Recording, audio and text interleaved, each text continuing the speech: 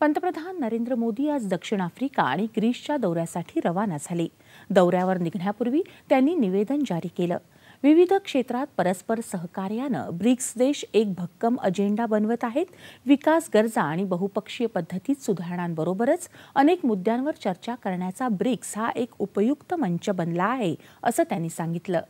राष्ट्रपती Cyril Ramaphosa यांच्या निमंत्रणावरून पंतप्रधान नरेंद्र मोदी आजपासून चोवीस ऑगस्टपर्यंत दक्षिण आफ्रिकेच्या दौऱ्यावर जात आहेत.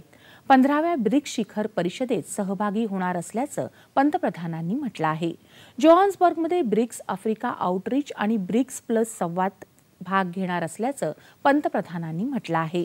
दरम्यान ब्रिक्स संघटनेचा विस्तार होऊ शकतो. आणखी काही देश त्यात सहभागी होण्याची शक्यता आहे अशी माहिती दक्षिण आफ्रिकेतले ब्रिक्सच्या शेर्पांनी दिली आहे.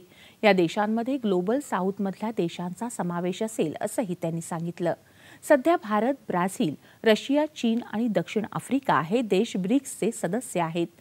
दक्षिण आफ्रिकेच्या दौऱ्यानंतर ग्रीसच्या पंतप्रधानांच्या निमंत्रणावरून ॲथेन्स इथं पंतप्रधान जाणार आहेत. या दौऱ्यामुळे ग्रीससोबत बहुआयामी संबंधांचा नवीन अध्याय खुला होईल अशी आशा पंतप्रधानांनी व्यक्त केली. चाळीस वर्षानंतर ग्रीसला भेट देणारे ते पहिले भारतीय पंतप्रधान ठरणार आहेत.